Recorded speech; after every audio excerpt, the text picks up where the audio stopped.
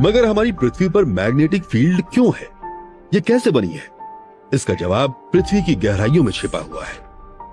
जब पृथ्वी घूमती है तो उसकी कोर के ठोस हिस्से के चारों ओर लिक्विड आयन भी घूमता है, जो इलेक्ट्रिक करंट ले जाने वाले वायर की तरह काम करता है। और जैसा कि फेरेडे ने साबित किया था, इलेक्ट्रिक करंट से मैग्नेटिक फील्ड्स बनती हैं। और ये हमारे काम भी आती हैं। हमारी मैग्नेटिक फ़ील्ड हमें कॉस्मिक किरणों के कहर से भी बचाती है, जो हमारे बायोस्फीयर को बहुत नुकसान पहुँचा सकती हैं। कॉस्मिक रेज हमारे डीएनए तक को पार कर सकती है। अगर मैग्नेटिक फ़ील्ड न होती तो बहुत बड़ी तादाद में जीव जंतु मर गए होते।